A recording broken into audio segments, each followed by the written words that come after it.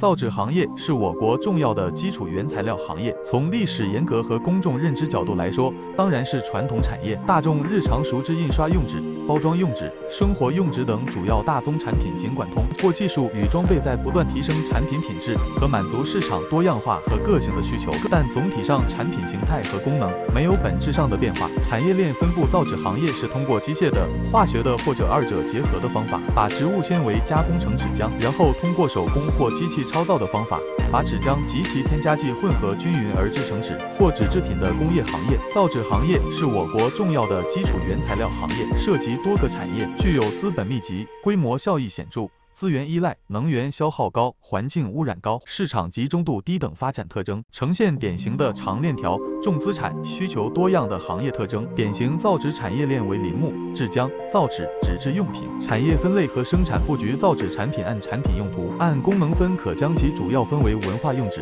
包装用纸、生活用纸以及特种纸四类。其中，文化用纸以新闻纸、双胶纸和铜板纸为主，包装纸以镶板瓦楞、卡纸为主。根据中国造纸学会公布的《中国造纸工业2017年度报告》数据统计显示，2017年文化用纸、包装用纸、生活用纸以及特种纸生产量占比分别为百分之二十五点零六、百分之六十一点五零、百分之八点六三和百分之二点七四，消费占比分别为百分之二十四点二七、百分之六十三点四三、百分之八点一七和二点二。根据我国造纸协会公布的资料，2017年我国纸及纸板产量分布为东部地区占比百分之七十四点九零，中部地区百分之十五点九零，西部地区百分之九点二零，较上年变化不大。具体到各个省份的产量，二零一七年广东、山东、浙江和江苏产量仍均在一零零零万吨以上，分别为一八百八十五万吨、一八百七十五万吨、一七百一十一万吨和一二百五十三万资本密集、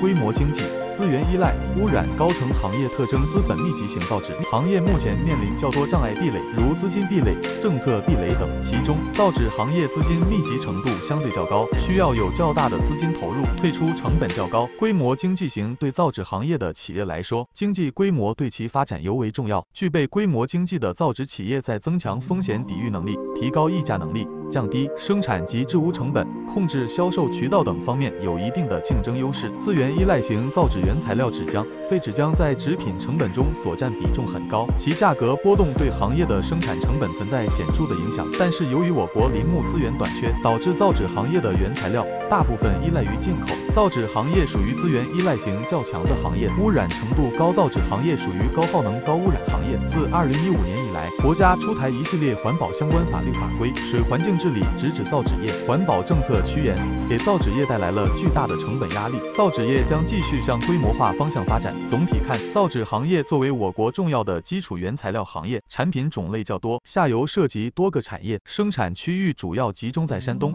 广东、浙江和江苏区域，具有资本密集型、规模经济型、资源依赖型和污染程度高等特点。部分内容来源于网络，如有侵权，请联系删除。欢迎您分享文章，让更多有需要的人看到。